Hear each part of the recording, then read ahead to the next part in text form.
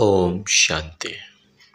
आज की तारीख है तेईस सितंबर 2024 तो आज विशेष अव्यक्त बाप दादा का महावाक्य है ये, इच्छा मात्रा में विद्या बनने की जो इस महीने का टॉपिक चल रहा है तो हमें इच्छाओं पर कैसे कंट्रोल रखना है, किस प्रकार इच्छाओं को जीतना है।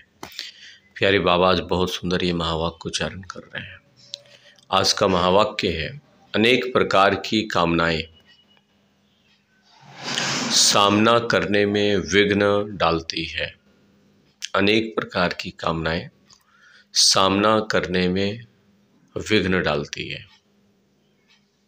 जब यह कामना रखते हैं कि मेरा नाम हो, मैं ऐसा हूँ, मेरे से राय क्यों नहीं ली गई?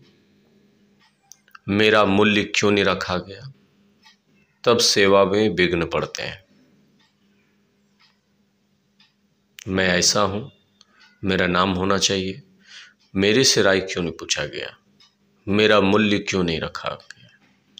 तब सेवा में विघ्न पड़ते हैं। इसलिए मान की इच्छा को छोड़ देना है और शोमान में तुम टिक जाओ। तो मान आपकी परछाई के समान पीछे पीछे आएगी। तो ये प्यारे बाबा बोले हैं, सूक्ष्म बात, कि किस प्रकार हमारे एक इच्छा रखने से सेवाओं में भी विघ्न पड़ते हैं और ये कामनाएँ सामना करने की शक्ति में विघ्न डालती है। ये भी एक सीक्रेट बात है जो बाबा बता रहे हैं, कि हम छोटी छोटी कामनाएँ रख लेंगे, इच्छाएँ रख लेंगे तो ये सेवा में भी विघ्न डालती है। सामना करने में भी विघ्न डालती है। सामना करने की शक्ति फिर आत्मा में कम आता है, क्योंकि इच्छाओं के गुलाम हो जाते हैं।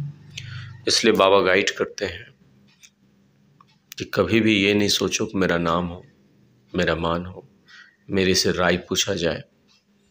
देह अभिमान वाला राय नहीं। और बाबा कहते हैं कि ओपिनियन तो सबको देना ही है। लेकिन अगर कोई नहीं लिया या कोई भी कारण ऐसा बना तो बाबा कहते हैं, हमें कभी भी क्यों क्या क्या क्वेश्चन नहीं करना है, देह अभिमान में नहीं आना है। मेरा मूल्य क्यों नहीं रखा गया? मेरा बात को क्यों नहीं निबेट दिया गया? ये सब सारा बाबा कहते सेवाओं में विघ्न डालने का आधार है। तो आज का शौमान क्या रहेगा? बाबा कहते शौमान में टिक जाओ तो आप मान सान आपकी परछाई की तरह पीछे पीछे आएगी। तो आज का बहुत सुंदर शौमान और मनन चिंतन भी लेंगे कि मैं आत्मा सदा नाम मान से परे रहने वाली हूँ। कोई भी देभान में आकर के ऐसे उल्टे संकल्प नहीं कर सकती हूँ। मैं ब्राह्मणात्मा सदा शोमान में टिकने वाली, बाप समान बनने वाली आत्मा इसलिए कोई भी प्रकार के व्यर्थ संकल्प, इच्छाओं के गुलाम नहीं हो सकती हूँ।